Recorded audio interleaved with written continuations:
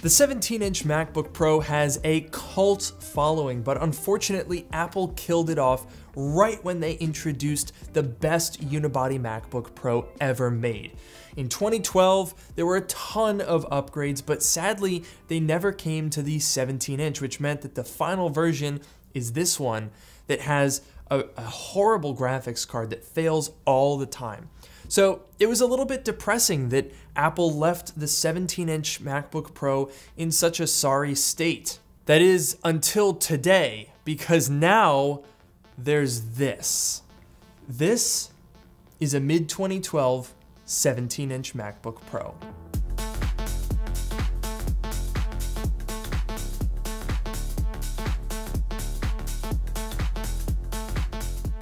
It's just so weird to not only see Ventura on a 17 inch, but to see a mid 2012 model identifier. That's crazy.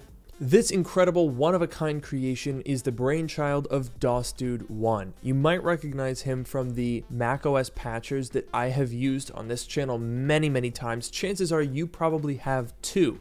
Well, today he came by to show me how this thing came to be. I, I mean, obviously you moved the CPU, but the chipset as well? So yes, the chipset and CPU, but that is just based on the serial number, which Right. is just an arbitrary one I put in, uh, as if it were a Hackintosh, basically. It's kind of part Hackintosh, Yes, part Macintosh. You've got a custom bootloader, custom firmware. custom firmware, and you're patching it to Ventura. Yes. My theory was I'll just take the chipsets from a real 2012, Mm. reball them, solder them on the board, and then uh, use the firmware from the 2012, and it'll just work. Well, of course, that wasn't the case because if I look at it closer, uh, a lot of the PCH I/O is is used for completely different things on the 2012, so the firmware is taking that into account. So I was like, well, now what the heck am I going to do? So I custom designed a port for this specific upgraded machine, and after a lot of iterations, took me quite a while. I got it working with every piece of hardware fully functional in the system. This is the laptop that Apple never made. They never made a 17 inch for 2012, and I think that's a real shame. I want to see what this thing looks like in, in person. Oh yeah, absolutely. It looks pretty normal in here. In fact, if I'm not mistaken, those are the original VRAM chips that are no longer doing anything. No longer doing anything, but I left them on there. the Like the mismatched RAM. Like only that combination would work with coreboot. It was so really? strange. What if you switch No. the order? The blue one has to be on the top. That one's 1600, the other is 1066. Wait, they're different speeds? Yes.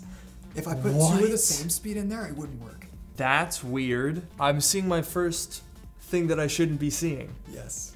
I see a lot of empty pads that are not usually empty. Yes. Because of course you got to take off the old failed AMD GPU, but you can't put an NVIDIA GPU on those same pads.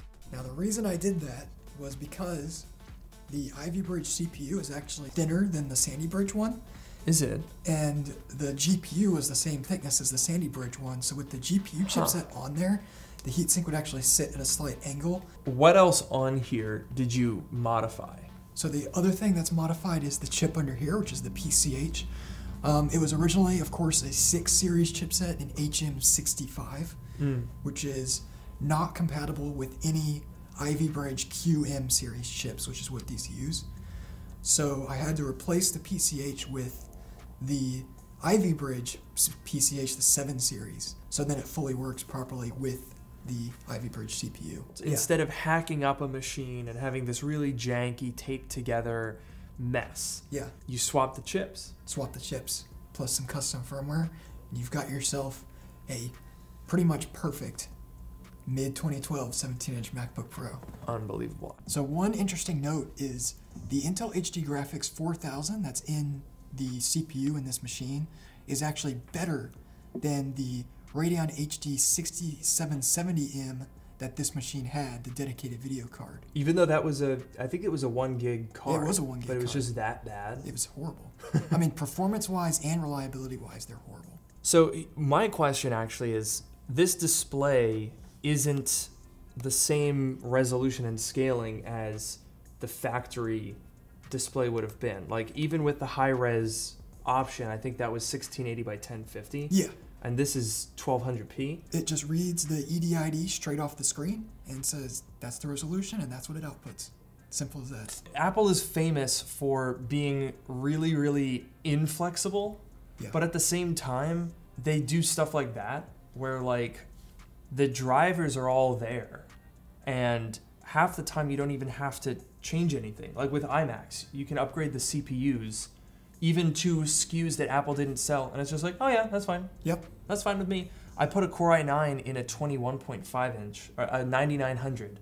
As long as the power supply can can handle it, they don't they don't care. So the software was by far the Mm. most time consuming part. That that checks out. Um, the actual upgrade took me about three to four hours to do all the reballing and installing of the chipsets. oh wow.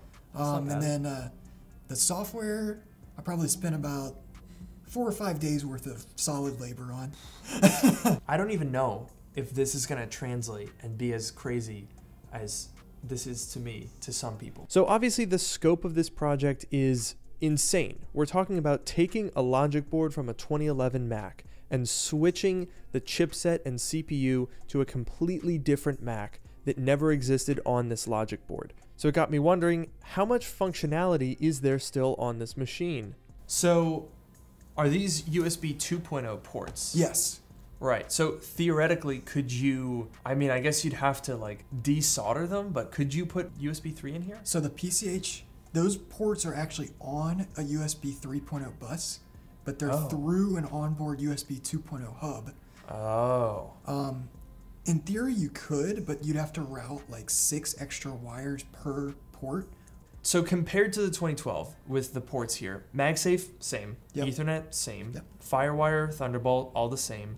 Um, obviously, two USBs are now 3 Mm-hmm. and the express card slot. Does that work too? Yes, it does. Fully works. How? It was basically as simple as saying this PCI Express port needs to be enabled on the PCH, setting it accordingly in coreboot, and it just works as a PCI Express port. So- That's truly mind-boggling. So in in pretty much every way except for these these USB ports, which are 2.0, yes. it, it works completely like a normal 2012. Yes, exactly. With integrated graphics. Right. Graphics, obviously the 2011 has the infamous, notorious AMD 6000 series, Yep.